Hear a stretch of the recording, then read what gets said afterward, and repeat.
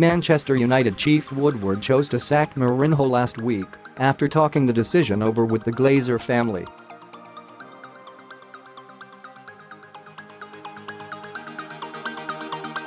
The Red Devils opted to get rid of Mourinho with the 55-year-old clashing with the likes of Paul Pogba, Anthony Martial, Luke Shaw and Alexis Sanchez during his time in charge.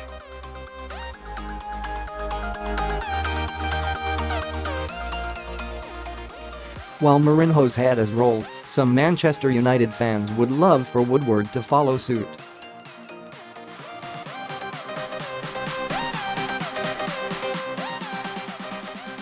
Earlier in the season, a section of the club's supporters paid for a banner to fly over a match against Burnley calling for Woodward's head.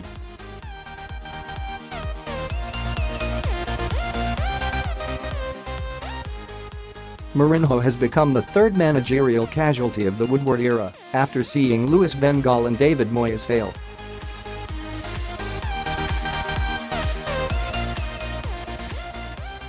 ESPN say, however, that United's Glazer family will not be sacking Woodward despite his failings.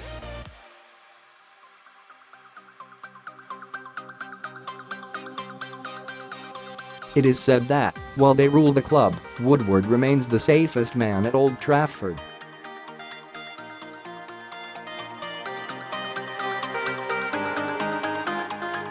The 47-year-old helped facilitate their takeover of the club in 2005 when he was involved in finances.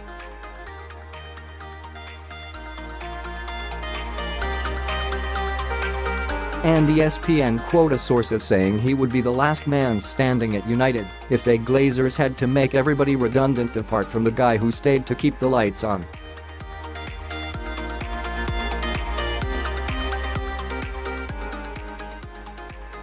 Meanwhile, Woodward's nous at Old Trafford has been questioned by fans and pundits alike.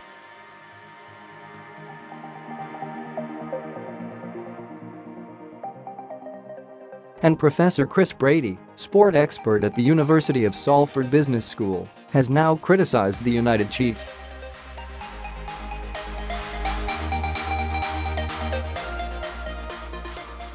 If Mourinho could have been smart enough to accept a director of football sporting director, or whatever name you call it, it would have been good for the club, and it could have saved his career at Manchester United, Brady said.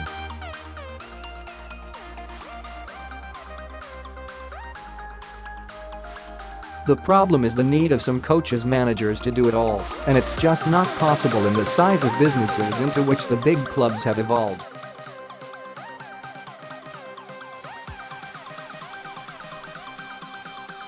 Mourinho and all head coaches need a boss to help with their worst excesses. Woodward wasn't that person.